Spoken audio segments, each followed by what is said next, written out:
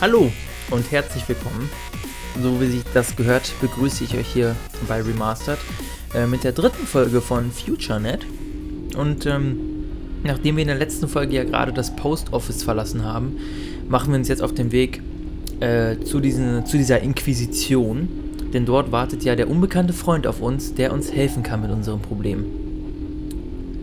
Ein Würfel, das heißt, irgendwas passiert, oder? Ah, doch nicht. Kann man den Typen wohl mal ansprechen? Ja, klar. Das ist der erste NPC, den wir ansprechen können. Ich glaub's nicht. Wahnsinn. Hallo. Hi. Oder hauen sie ab. Was? Geil. Thor Sigfusson. Ein Isländer, der Missionar vom Beruf ist, aus Reykjavik stand, stammt und das Netz als wundervollen Ort bezeichnet. Den wollen wir doch mal freundlich ansprechen. Das Netz ist ein wundervoller Platz, nicht wahr? Hm. Der Punkt ist, ich finde den gar nicht wundervoll, denn äh, ich werde hirntot sein, wenn es so weitergeht. Ähm, aber natürlich möchte ich mich bei ihm einschleimen, denn vielleicht wird mir die religiöse Kaste hier helfen können. Außerdem kommt mir seine Stimme so bekannt vor. Mal wieder der gleiche Synchronsprecher. Wünschen Sie sich nicht, immer hier sein zu können? Hm. Das ist jetzt eine gute Frage. Vielleicht würde ich mir das wünschen, wenn ich nicht mit der äh, mit der dauernden Gefahr konfrontiert wäre, dass wenn ich doch mal raus wollte, sofort tot wäre. Deswegen sage ich mal ja, vielleicht wünsche ich mir das ja doch. Hier, kommen Sie zu Spiritual Note, dem geistlichen Netz, wenn Sie fertig sind. Mein Gott, das FutureNet braucht drei Sekunden, um eine Textdatei zu übertragen. Aber wir haben ein Item bekommen. Das Die Church of Amok. Die Todeskirche. Todkirche? Ach, die Church of Amok. Das ist toll. Okay. Okay. Willkommen zu Church of Amok. Oh mein Gott, ist das ein langer Text. Wir leben in einer Zeit unendlicher Wunder. Was ist die Church? Sie ist eine Gruppe von Net-Usern, die die Erfüllung im Net unter an unserem Führer Amok gefunden hat. Okay, Amok. Hm, wir möchten anderen die gleichen Geheimnisse einweisen. Wir studieren ihn, viele Wegenswege, okay. Amok ist nicht nur eine reale Person, Amok ist unsterblich, so wie die Church of Amok bestehen bleiben als ein lebendes, atmendes Wesen, das Individuen im Netz tausende oder Millionen von Jahren leiten wird. Okay. Woher stammt sie? Amok ist ihnen erschienen. okay. Ja. Äh, wir befinden uns in Spiritual Node, da waren wir vor, das ist das mit der Pyramide. Wählen Sie A für den Access-Zugang. Sprechen Sie einen unserer Online-Spezialisten, um mehr zu lernen.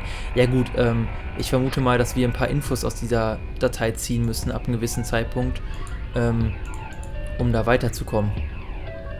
Aber äh, das machen wir dann zu, gegebenen, zu gegebener Zeit. Jetzt sollten wir erstmal gucken. Hier oben geht es ja, glaube ich, in dieses Level 2 Access. Da dürfen wir ja nicht rein, ne?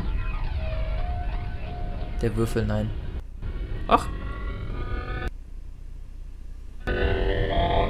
Leider haben Sie eine Sperrzone betreten. Nur User mit Level 2 Access-Zugang haben Zutritt in diesem Sektor. Danke für die Benutzung des FutureNet. Bitte. Ja gut, da können wir also nicht rein. Ähm, das gleiche gilt dann wohl für den Weg unten, aber ähm, ich muss trotzdem, ich bin Completionist, ich muss einmal gucken, wie es da aussieht. Sonst macht mich das Ganze verrückt. Ja, okay. Äh. Leider haben Sie eine Sperrzone betreten. Schade, ich dachte, ich könnte diese scheiß Soundfile abbrechen. Oh nein, habe ich das Spiel zum Abschluss gebracht? User mit Level 2 Access-Zugang haben Zutritt in diesem Sektor. Hm.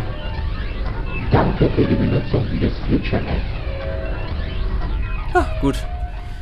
Äh, war nur so ein zwischenzeitliches grafisches Problem. Kann man den wohl anlabern? Ne, man kann echt nur ausgewählte NPCs, die sich immer im gleichen Rhythmus bewegen, anlabern. Schade eigentlich. Ich könnte mir hier viele interessante Sachen vorstellen. Da merkt man schon, dass doch äh, 16, 17 Jahre zwischen uns und dem Spiel liegen. Free Psychic Exam. Das klingt doch noch etwas, was ich mir gönnen sollte.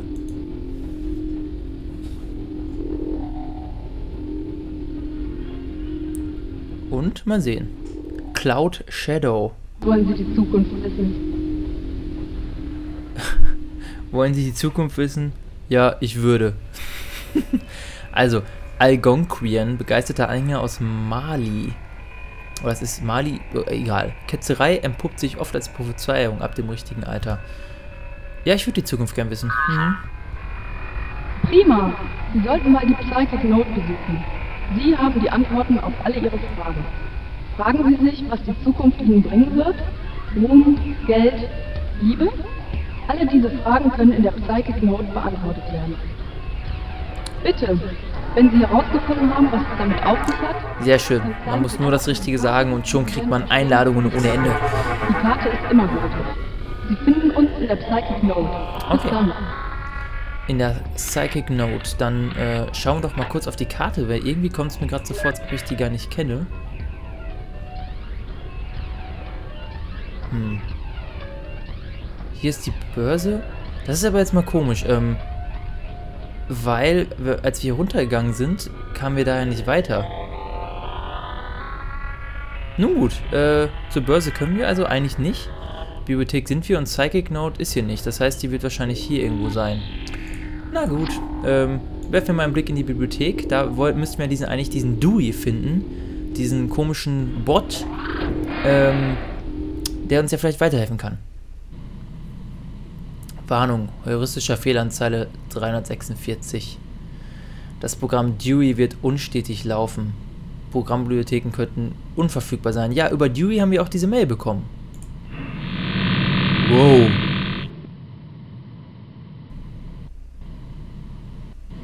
Willkommen in der Library, der Bibliothek des FutureNet. Ich bin Dewey, der Büchereicomputer. Ich kann Ihnen sofort Auskunft geben. Unsere Einrichtung bietet die umfangreichsten Daten, die jemals zusammengetragen wurden. Cool. Möchten Sie eine bestimmte Auskunft haben?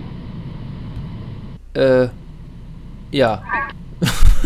Ich werde es versuchen, Ihnen zu antworten. Wie kann ich Ihnen helfen? Ähm. Was finde ich jetzt interessanter? Ähm. Erstmal, ob er einen Ort kennt. Ja, Avatar hat immer Priorität, würde ich sagen. Ich weiß nicht, wo Sie Ihren Avatar reparieren lassen können. Ja, das weiß ich. Nun, da bin ich mir nicht ganz sicher. Okay, also der blaue ist der unsichere, der grüne ist der positive, der rote, der es nicht weiß. Aber welcher von denen sagt die Wahrheit? Ich bin ein ziemlich neues Programm und meine Programmfehler sind noch nicht alle behoben. Die Techniker arbeiten hart, aber mich zu programmieren ist keine leichte Aufgabe. Sie tun Ihr Bestes. Der offensichtlichste Fehler ist der, dass wenn ich Daten empfange, ich mich in drei Persönlichkeiten spalte. Ich glaube nicht, dass dies reale Personen sind. Der wahre Dewey sagt immer die Wahrheit. Der Anti-Dewey lügt immer. Und der verdrehte Dewey sagt entweder die Wahrheit oder er lügt. Sie können uns durch unsere Stimmen und unsere Bildschirmfarben unterscheiden. Jetzt stellen Sie Ihre Frage bitte noch einmal. Okay, ähm, hm. Ist das eine absurde Kacke? Coole Programmierer auf jeden Fall, die sowas einbauen. Hm. Okay, das war unsere Frage. Also vielleicht kriegen wir es jetzt irgendwie raus, wer von denen die Wahrheit sagt. Hören wir mal genau hin.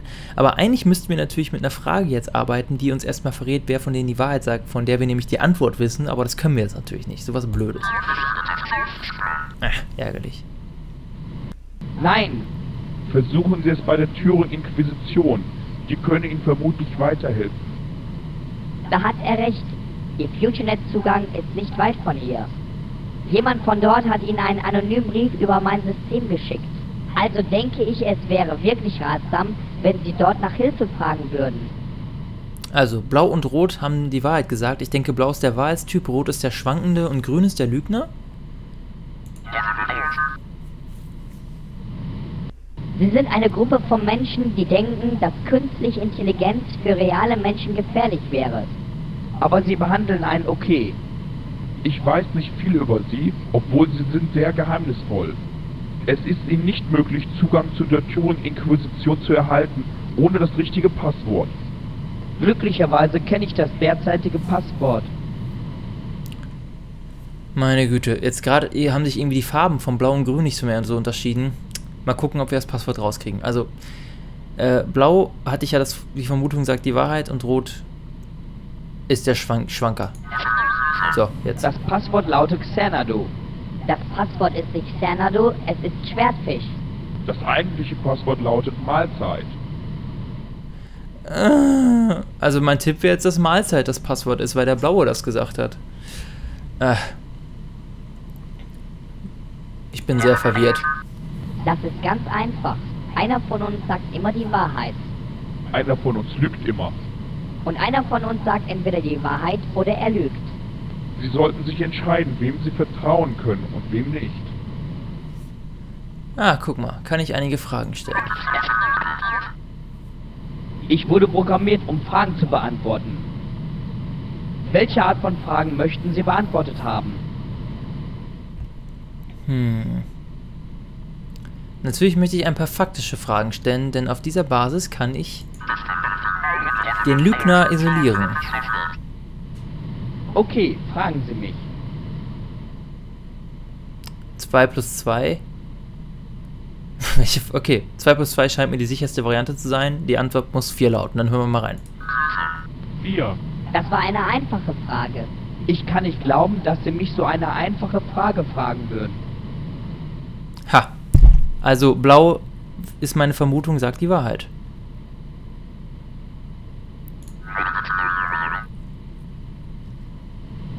Meinen Sie, wenn sie reif ist? Obwohl ich diese Frage mag, ist es keine gute Frage, weil die anderen immer versuchen, alles durcheinander zu bringen. Eine Orange ist orange. Danke, blau. Ja, der Himmel, okay. Hm. In der Nacht oder am Tag. Dieser Dewey versucht, alles durcheinander zu bringen. Sie sollten mit Ihren Fragen vorsichtiger sein. Glauben Sie, Sie haben alle nötigen Informationen? Ja, ich bin mir sicher, dass der Blaue immer die Wahrheit sagt. Dann rate ich Ihnen, zur Turing Inquisition zu gehen. Sollten Sie noch andere Fragen haben, kommen Sie ruhig her. Ich muss aber sagen, dass mir das Programm ein bisschen auf den Sack geht, denn wenn ich Fragen stelle, wie kommt es darauf, mir eine Gegenfrage zu stellen, eine provokative? Das ist ja eine Unverschämtheit. Naja, kann man jetzt nichts machen. Dann, ähm... Oh, auf einmal äh, ist er aber ganz schnell unterwegs hier. Dann gehen wir doch mal nach da oben. Da ist eine Lady in Black.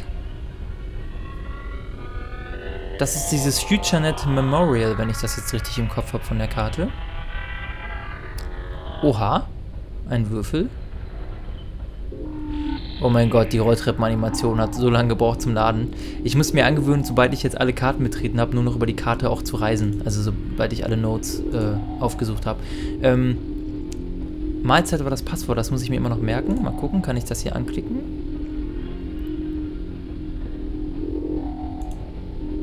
Kann ich, aber ich habe... Bitte halten Sie sich vom Netpionier Memorial fern. Ihr Avatar-Algorithmus verdirbt das Denkmal. Du verdirbst das Denkmal, was soll das denn? Wie soll ich das denn verderben, als wäre ich ansteckend? Das ist... Das ist doch alles digital. Oder bin ich so ein laufender Virus? Die Inquisition. Jetzt werden wir feststellen, ob ich das Passwort So. weiß. Ohne passendes Passwort kann ich dir nicht erlauben, an der Turing-Inquisition teilzunehmen. Wir müssen sicherstellen, dass keine künstlichen Intelligenzen in den Leseraum gelangen. Wenn du Zugang möchtest, nenne bitte das Passwort. Wenn das Passwort korrekt ist, wirst du Zugang zu unserer Testmatrix erhalten. Das ist, ich wollte auch gerade Matrix sagen, das ist ja wirklich Wahnsinn. Der Typ Brother Payne erinnert mich ja doch ein bisschen an, an Neo. Äh, es ist meine Freude, sie auszulöschen, gefällt mir auch. Hm. Also ich bin der Meinung, das Passwort müsste Mahlzeit sein. Es sei denn, Blau ist nicht der Wahrheitstyp. Dann müsste Rot der Wahrheitstyp gewesen sein, glaube ich, und dann wäre es Schwertfisch. Aber Passwort Swordfish. Nee, oder? Es ist Mahlzeit, komm schon. Ungläubiger, das ist definitiv nicht die richtige Antwort. Dachtest du, das wäre das Passwort für unsere heilige Verbindung? Ja,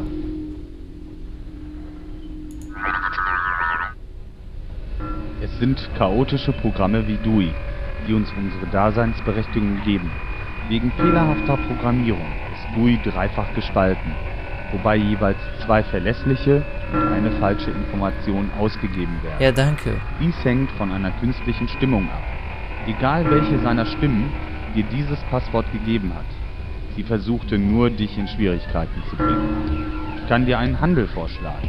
Wir wollen in der Lage sein, schnell Duis Persönlichkeiten unterscheiden zu können. Mhm. Was du für uns tun könntest, ist herauszufinden, welche Persönlichkeit welche ist. Gehe zurück zu Dewey und finde es heraus. Wenn du das für mich machst, werde ich deine Indiskretion übersehen, die ganze Passwortgeschichte vergessen und dir erlauben, dich in unserem Leseraum einzuloggen. Wirst du es tun? Natürlich. Gut, erstatte Bericht, wenn du deine Aufgabe erledigt hast. Bis dann, User. Die Realität möge mit dir sein. Ich meine, der Blau war der, der gesagt hat, 2 plus 2 ist 4 und Orange ist Orange. Ist doch keine. Das sind doch beides keine Lügen. Also, ich, ich verstehe das alles nicht. Ja, ja gut, dann ähm, haben wir gar keine Wahl. Ich würde mal sagen, wir springen jetzt doch nochmal. Die Folge ist zwar fast vorbei, aber wir springen jetzt nochmal doch runter zur Bibliothek und gucken uns das an.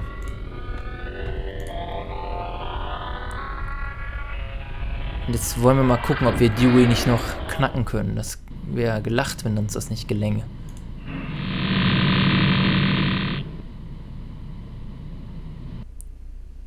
Oh, hallo mal wieder. Haben Sie schon Zutritt zur Turing-Inquisition?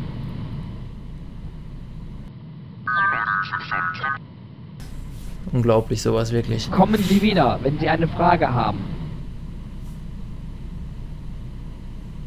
Wie kann ich sie drei auseinanderhalten? Ich wurde programmiert, um Fragen zu beantworten. Welche Art von Fragen möchten Sie beantwortet haben? Hm, ich glaube, dann versuchen wir es doch erstmal mit äh, rhetorischen Fragen. Okay, fragen Sie mich. Hm, äh, wer würde als erster ein Leben retten? Also es ist halt so die Frage, was, äh, ob die überhaupt auf sowas antworten können, ne? Als Computer. Eigentlich ist die Frage unnötig. Wir sind ein Computerprogramm und nicht in der Lage, Leben zu retten. Ja, dann versuchen wir es das erste doch nochmal. Also, wer würde wahrscheinlich seine Straftat begehen? Eigentlich ist die Frage unnötig. Wir sind ein Computerprogramm und nicht in der Lage, ein Verbrechen zu begehen. Glauben Sie, Sie haben alle nötigen Informationen? Nee, glaube ich nicht, aber es ist, äh... ah, Ich wurde programmiert, um Fragen zu beantworten. Welche Art von Fragen möchten Sie beantwortet haben? Okay, also die faktischen haben wir ja eigentlich schon. Und da blieb ja eigentlich hängen, dass Blau die Wahrheit sagt. Das heißt, Blau muss dann wahrscheinlich ja der Verdrehte sein. Ähm, dann vielleicht jetzt nochmal mit hypothetischen Fragen versuchen. Oder... Ja, okay, komm, machen wir die hypothetischen. Okay, fragen Sie mich. Oh Gott. äh, okay, CD muss erstmal laden. Ähm, ja, am besten gehe ich die jetzt alle der Reihe nach einmal durch. Er würde sagen, dass ich der wahre Dewey bin. Nicht unbedingt. Ich würde sagen, dass er der wahre Dewey ist. Hm. Also wenn Blau der Verdrehte ist, dann kann es sein, dass er jetzt gelogen hat. Das heißt, dann wäre Grün der Lügner und Rot würde sagen, nicht unbedingt, was ja dann auch der Wahrheit entsprechen würde. Das heißt, in meinem Kopf wäre dann Rot der, der die Wahrheit sagt und äh, Blau der Verdrehte. Und Grün wäre der, ähm, der Lügner. Wenn ich jetzt den grünen Dewey frage, wer der Rote ist, und ich gehe davon aus, dass der Rote der wahre Dewey ist, dann müsste der Grüne jetzt also sagen, dass er es nicht ist. Ja, gucken wir mal. Ich würde sagen, dass er der Verdrehte ist. Er würde sagen, dass ich der Anti-Dewey bin. Er würde sagen, dass er der wahre Dewey ist. Blau, also er, Grün hat jetzt aber wirklich gesagt, dass er der Verdrehte ist, der Rote. Und der Rote hat gesagt, er würde sagen, er wäre der Anti-Dewey, aber hat- würde der Rote damit nicht lügen? Aber dann. Oh mein Gott, ey. Äh, okay. Und wenn ich den Roten frage, wer der Blaue ist, dann müsste der Rote jetzt eigentlich sagen, dass er der Verdrehte ist. Er würde sagen, dass ich der Anti-Dewey bin. Ich würde sagen, dass er der verdrehte Dewey ist. Ja. Aber er würde lügen. Nee, würde er nicht. Glauben das heißt, Sie, Grün Sie lügt. haben alle nötigen Informationen? Vielleicht, äh. Vielleicht sicherheitshalber nochmal die. Ja, kommt zur Sicherheit noch einmal. Es tut mir leid, ich äh, Ich habe nur keinen Bock, jetzt bei dieser Turing. Inquisition dreimal oder viermal hinla Sie hinlaufen zu müssen. haben? Die hypothetischen nochmal? Okay, fragen Sie mich. Äh. Ja, komm nochmal den roten. Er müsste jetzt wirklich sagen, Er er würde verdreht. sagen, dass ich der Anti-Dewey bin. Ich würde sagen, dass er der verdrehte Dewey Ja, ist. komm. Aber er würde lügen. Das muss stimmen. Das muss einfach stimmen. Okay. Ähm, also, Rot sagt die Wahrheit, Grün lügt, Blau ist der äh, Verdrehte. Das passt ja auch, weil der Blaue hat ja bei den faktischen Fragen hat er ja die Wahrheit gesagt, was ja okay ist. Das war ja auch anscheinend die Ablenkung, durch die ich auf Mahlzeit gekommen bin. Glauben Sie, Sie haben alle nötigen Informationen? Ähm, okay, nochmal auf Nummer sicher Ich wurde gehen. programmiert, um Fragen zu beantworten. Bei den faktischen Fragen vielleicht nochmal schauen, was der Rote da sagt. haben?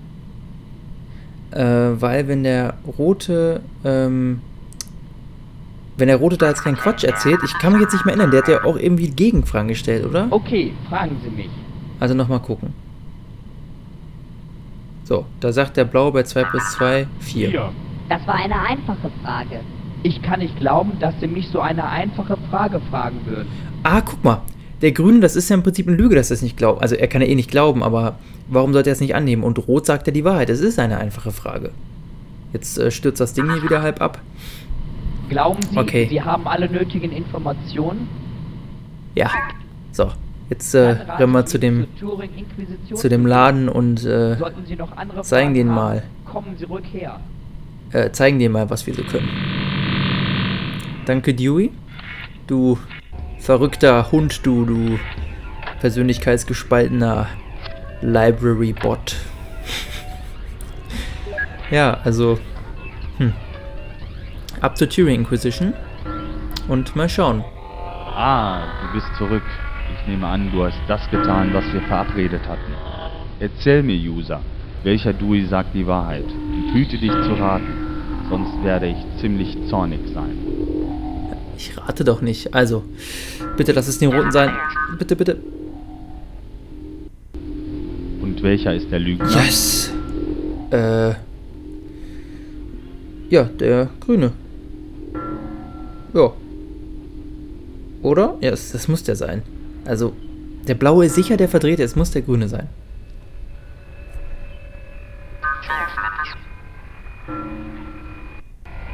Was den Bass zum verrückten Dewey macht. Sehr gute Arbeit, User. Yes. Erlaube mir jetzt, dein Access-Protokoll zu bearbeiten. Du wirst zur Turing-Inquisition eingelassen. Jedoch können wir immer noch nicht komplett sicher sein, dass du eine echte Person bist. Wenn du fortfahren möchtest, wirst du einem Test unterzogen. Einem Test, der 1950 von Alan Turing entwickelt wurde, Ach, um die Echtheit einer künstlichen das ist der Enigma-Typ, der Alan du in Turing. unseren Leseraum. Ja, komm, ich geh jetzt direkt rein. Sehr gut. Klicke nur auf die Tür und du wirst zu unserer Testmatrix gelangen. Auf der anderen Seite der Testmatrix ist der Leseraum. Du wirst ihn sehen, wenn du das betrittst, was wie die Decke aussieht. Wie du dorthin gelangst, ist dein Problem. Ah, toll. des Weges wirst du von meinen Kameraden getestet.